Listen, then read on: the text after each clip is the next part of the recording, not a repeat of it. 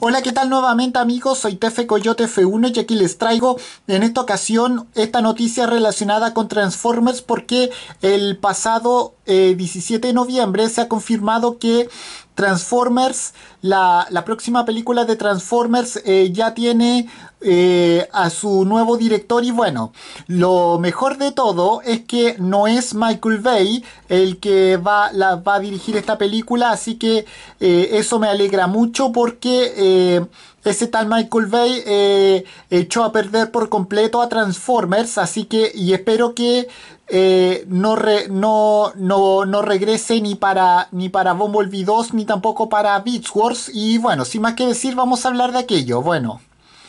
Bueno, como sabemos, eh, Paramount y, Hasbro ya, eh, ya están decididos para resucitar la franquicia Transformers y, y, estas dos compañías encontraron ya al director para sus siguientes cintas. Bueno, como sabemos, Transformers, que es la, la línea de, productos de entretenimiento de la juguetera multinacional Hasbro eh, dio, el gran dio el salto a la pantalla grande eh, con imágenes eh, reales, o sea, live action en el año 2007. Y bueno, como sabemos, la primera película estuvo de la mano de, de Steven Spielberg en la producción y de Michael Bay en la dirección y abrió la puerta a toda una franquicia. Luego de cinco películas eh, populares que consiguieron recaudar eh, en taquilla global más de 4 billones de dólares. Los, eh, fanáticos, como yo por ejemplo, han, estado perdiendo interés en, la película y bueno, ahora Paramount Pictures y también Hasbro planean un reinicio de la franquicia para volver a atraer a la audiencia y ya habrían encontrado al director idóneo para este, idóneo para este proyecto. Así lo confirmó eh, eh, un medio llamado Deadline, bueno, que acá, pues, acá está el enlace.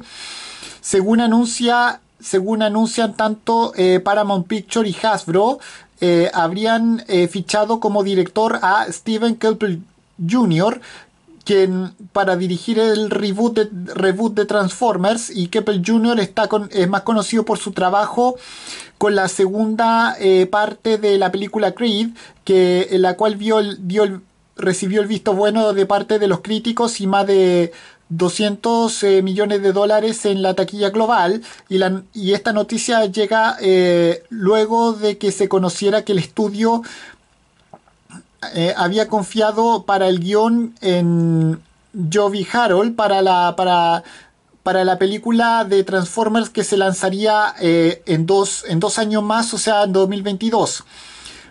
Eh, así que después de elegir el guion, los, ejecutivos también pudieron reunirse con los directores candidatos y bueno, y, Steven Keppel Jr. tomó esta posición. Bueno, lo cierto es que esta película se va a ser un gran impulso para la carrera del mismísimo eh, Jr., el director de eh, Creed 2. Eh, tuvo su debut eh, tuvo su debut en el cine precisamente en el año 2016 con la película de Lan y estas dos eh, cintas eh, son los únicos son los únicos largometrajes para un director que está más acostumbrado a trabajar eh, con el formato corto, o sea cortometraje, pero como demostró en Creed 2 es capaz de guiar a una, a una franquicia popular hacia adelante al mismo que hacia el mismo que toma elementos nostálgicos eh, de lo que ya ha hecho, por lo que es probable que eh, quiera hacer algo parecido con eh, la franquicia Transformers. Bueno, por su parte no se conoce que Hasbro y Paramount Picture tienen entre sus planes dos nuevas cintas de Transformers. No se confirmó eh, cuál va a dirigir eh, el mencionado Keppel Jr., pero ya se especula. Todo apunta a que el director va a trabajar con el guion de eh, Harold. O sea, Jovi Harold, eso quiero decir, perdón, lo pronuncié mal, no es Jovi Harold, es Jovi Harold, que no se conoce mucho acerca de la trama de esta película, ni tampoco mm, tampoco se saben quiénes, son, quiénes van a ser los protagonistas, pero se localizaría en el mismo universo del spin-off de Bumblebee que se lanzó hace dos años atrás, o sea, 2018. La película fue una ráfaga de aire fresco para una franquicia que, que parecía que perdió su esencia, por lo que no es de extrañar que el estudio quiera seguir explorando el nuevo este nuevo universo presentado. Pero también podría encargarse del guion de, del guion de James Vanderbilt.